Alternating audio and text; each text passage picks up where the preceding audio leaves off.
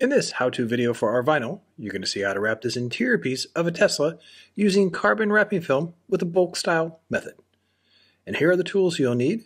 Cleaning solution, squeegee, primer 94 stick, knife, application glove, and a heat gun.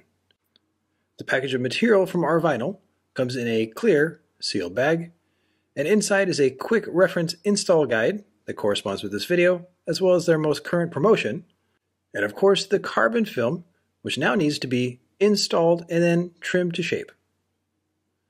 The first step is to get a good read of the area. Here, the cover is slid in and the armrest raised.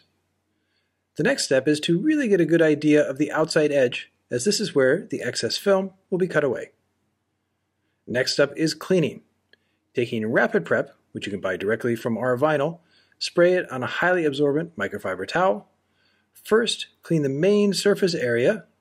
Then, once this area is clean from all dirt and oil, place the squeegee in a microfiber towel, and the hard edge can be guided along the outside area, and this will get a nice deep clean, which is absolutely essential for long-term hold.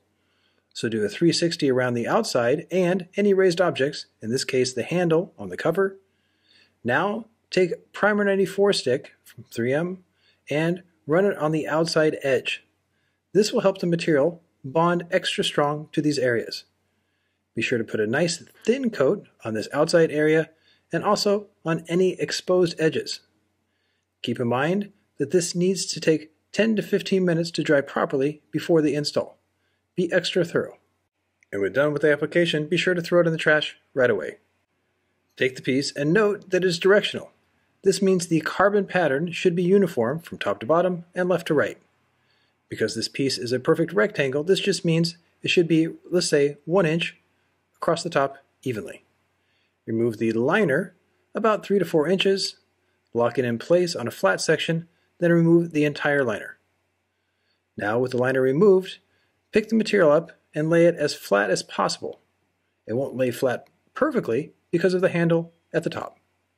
So squeegee it onto the flat section just to the handle, then tuck the material in and squeegee to the outside. Once the material is locked in place, be sure to tuck it safely into the outside edge.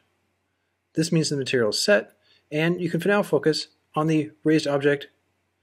Tuck the material in with the soft side of the squeegee, then rotate the squeegee and tuck it in even deeper with the hard side. Taking a knife, angle it safely into the base of the handle and make one cut from left to right. Gently pick up the piece and, because it's curved on the edge of the handle towards the other side, tuck the material in one more time using a finger and the squeegee.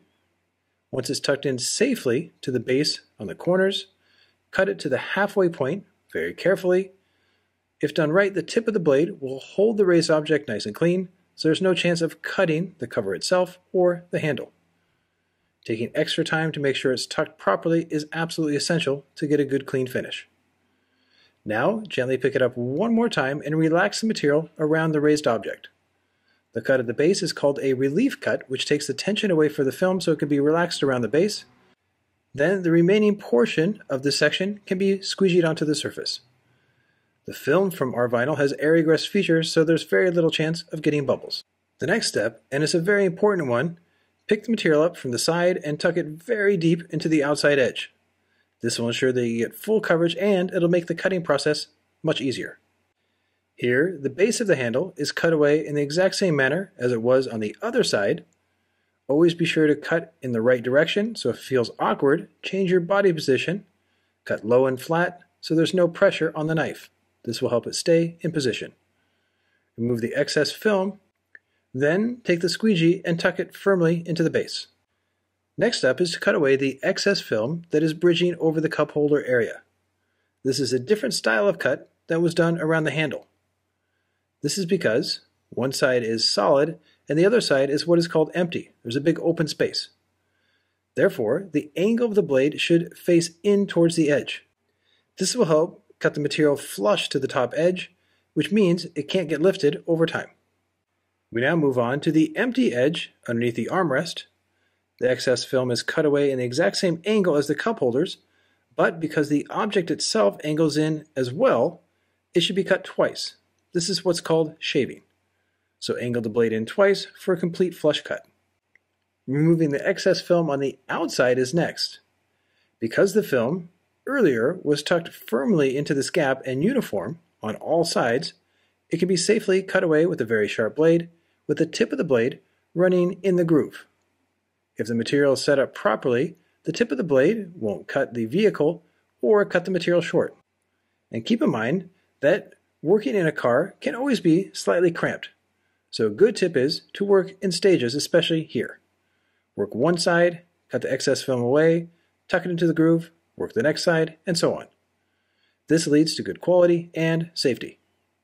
Once everything's sealed, then you're good to go. The final step is to make sure all edges are done, so a 360 on quality, make sure there's no bubbles, and add heat to make sure all the edges are tightly sealed. The final step is to sit back and enjoy the final wrap. So all the tips and tricks come from the Wrap Institute and the great tools and material from Rvinyl. So now you know how to transform the interior of your car using bulk carbon film, which looks great and protects the vehicle.